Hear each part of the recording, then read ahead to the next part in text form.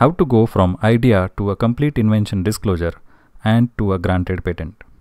In this video, we will learn steps for going from idea stage to a complete invention disclosure, how to get clarity on your invention, is your invention patentable in your country or countries of your interest, how to do a preliminary search of your idea or invention, or in other words, how to perform a search for the closest possible prior arts how to review the results you got from the preliminary search, how to create a complete invention disclosure, and we'll also see some of the mistakes that you need to avoid in this idea to invention journey.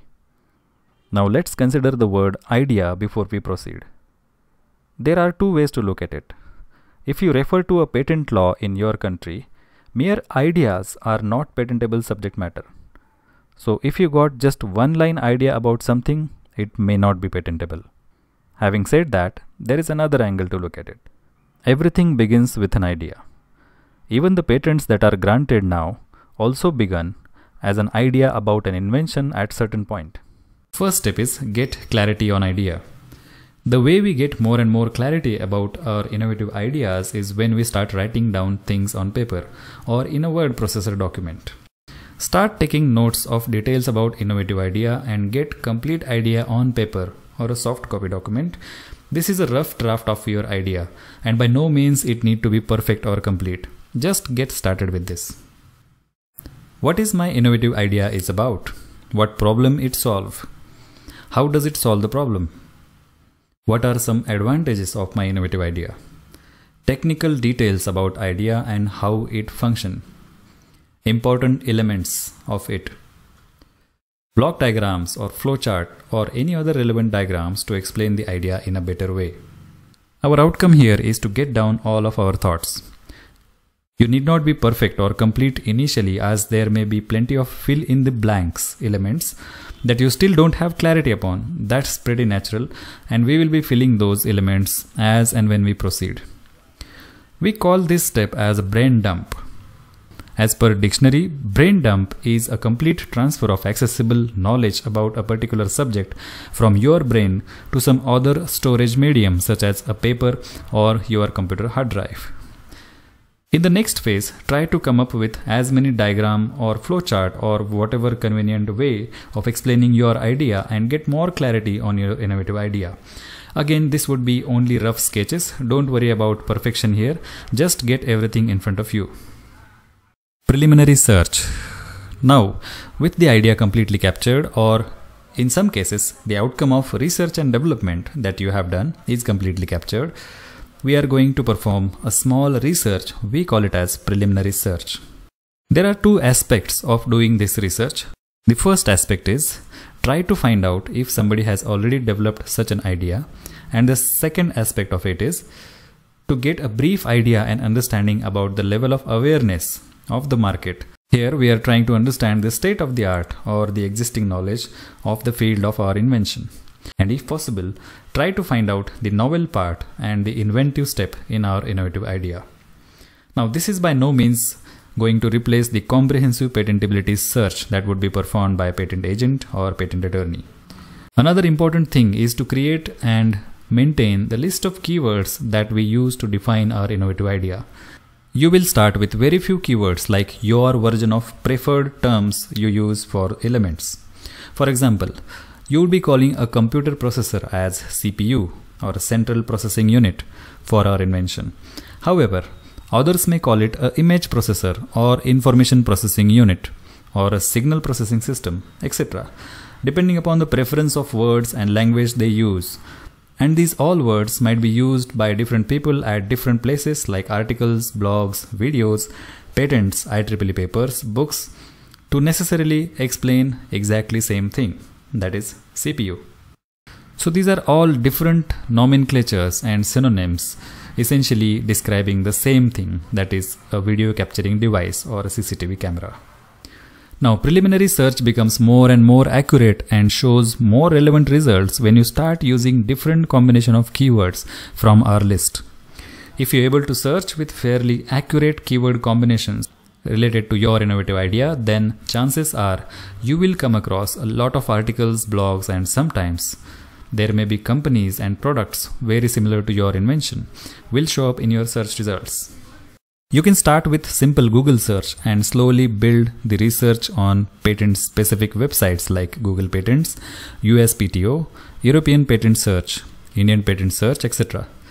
So probability is you will come across some important prior arts for your innovative idea which are most readily searchable and easily available on the internet. Now it is important not to get discouraged here seeing a lot of stuff online that is similar to your innovative idea keep a good record of results you feel are very closely related to our invention and create a folder to save these results. We call them closest possible prior arts. Find as many as possible and keep its record.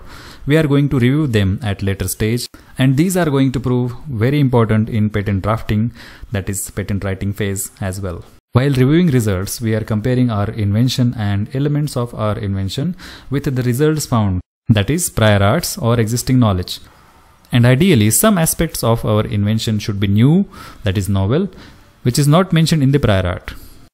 It is important to know that patents are not always given for groundbreaking inventions, whereas in reality, patents are granted for incremental inventions too. That is, incremental improvements in existing systems that are known to public. What we can understand from this and what is really encouraging is even if our innovative idea has some aspect that may be very small yet significant to qualify for inventive step, you can win patent for that invention. In other words, we might have 95% of elements of our invention which are known to public and in existing knowledge. But even if we have 5% of our invention, that is some small part of our invention which is novel, which is non-obvious to persons skilled in the art and which has industrial application, then our invention would be patentable. When we are reviewing results, find out how our invention is different or improved in one or other aspect when we compare it with existing prior art. Take specific note of things where our innovative idea solves some problem in existing prior art or state of the art. Particularly look for elements of our invention which are different and which are improved compared to the prior arts found. Take a good note of differences in front of each result after the review so that you can discuss it with patent agent or attorney at appropriate stage. Your invention disclosure need to answer these questions, if not all of them, as many as possible. How you have come up with this innovative idea. What your invention is about. What problem your invention is solving? What are the advantages of your invention? What are important elements or components of your invention? Draw a block diagram or device or flowchart or sketch that explains your invention in better way. What products or services that are already in the market which are similar to your invention? How your invention is different or improved or efficient than already existing knowledge? What components are unique and non-obvious to persons skilled in the art. What is the inventive step in your invention? What part of your invention is crucially important for commercialization? How your invention is better than the prior arts and existing knowledge? Mistakes to avoid in idea incubation phase. Mistake number one. Wasting your valuable time, efforts and money in innovative ideas that are already known to public. Taking innovative idea to patent attorney too early and directly without doing much of a background check. In this case, the problem would be wasting time, effort and money on innovative idea which you yourself would have known prior to giving to patent agent or attorney that the idea is not at all patentable because this innovative idea is known to public already and was easily discoverable upon doing a little bit of research by inventor himself. Second mistake would be analysis paralysis that is waiting for too long to take your innovative ideas to patent agent or attorney. Too early or too late, both are dangerous when it comes to filing patent application for invention. If you are too early, you may be in ideation stage or research and development still going on. So complete description of invention to get patent might not yet be available with you. Hence, you might not be protecting the invention with appropriate scope. And if you are too late, chances are you would lose the priority or invention since the competitors may come up with same patent application before you file one. Hope you received some value from this video today. For more information on patent related topics, you may consider subscribing to our channel or visit our website patentattorneyworldwide.com. Thank you for your time. Take care.